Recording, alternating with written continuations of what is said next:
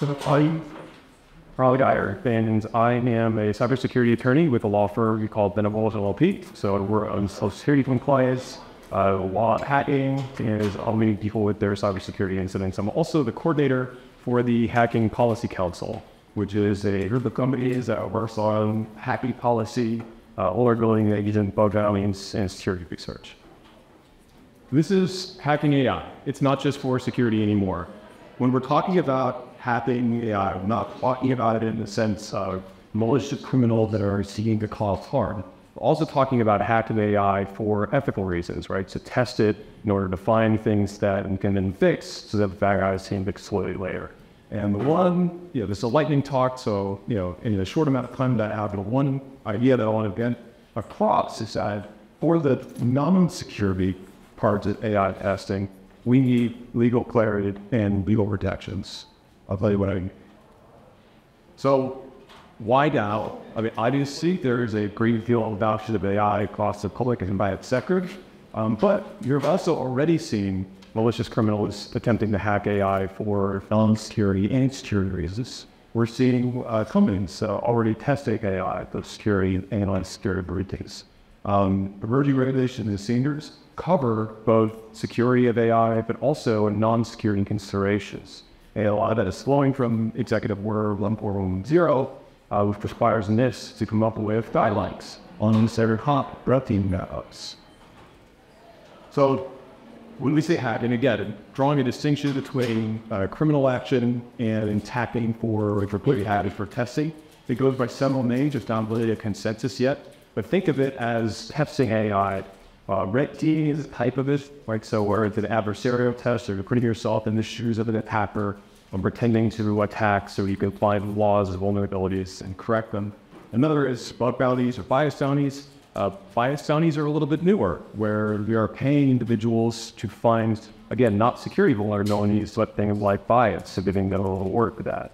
So when we're doing it, there's two different buckets that, that the, the result of it. The one security vulnerabilities, right? Pretty well familiar with those things. But the other, because it is artificial intelligence, and artificial intelligence covers a lot of different concerns, including like bias, uh, racial and gender discrimination, toxic or abusive content, or other harmful outputs like finding synthetic child sexual abuse materials.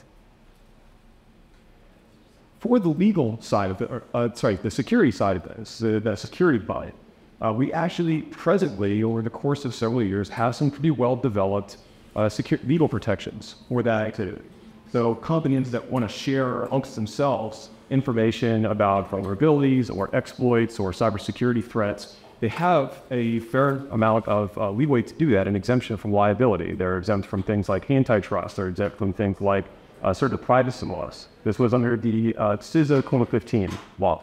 Um, companies increasingly have coordinated vulnerability disclosure policies where they can intake vulnerability information so that they can know about it and then fix it from people who are not solicited to provide that. Right? So uh, every federal agency right now has a coordinated vulnerability disclosure policy. And for individuals who are conducting that testing by themselves, we have legal protections for them under our main anti-hacking laws. So that includes the Computer Fraud and Abuse Act and Section 1201 of the Digital Millennium Copyright Act. But on the non-security side of the house, there is a big gap in those legal protections. If you look at the statutes, they all talk about security and safety. They don't talk about these other concerns that we have identified as being crucial for AI deployment. Bias, discrimination, toxic and use of content, and so forth. So uh, concurrently, companies don't have the same protection if they wanted to, as a group, share amongst themselves information related to, say, a novel attack method that is, is producing synthetic child sexual abuse material. Um, companies, although they have coordinated security vulnerability disclosure policies, do not yet, as a rule, have a coordinated algorithmic flaw disclosure policy. Where if you wanted to submit an algorithmic disclosure or algorithmic flaw today, then you have the same protections as you would if you were submitting security vulnerability. And importantly, these individuals are conducting research like testing uh, what is eating AI by themselves don't have the same protections if they if they're doing if they're doing that testing for non-security purposes, as if they were doing it to find security vulnerabilities. So if I'm testing your AI deployment to find bias, you know, gender discrimination, again, not protected the way it would be if I'm finding this vulnerability. So this leads to policy priorities. I think that are I think going to quickly come to the fore as our regulations become more specific. Um, the overarching issue, of course, is more trustworthy and transparent AI.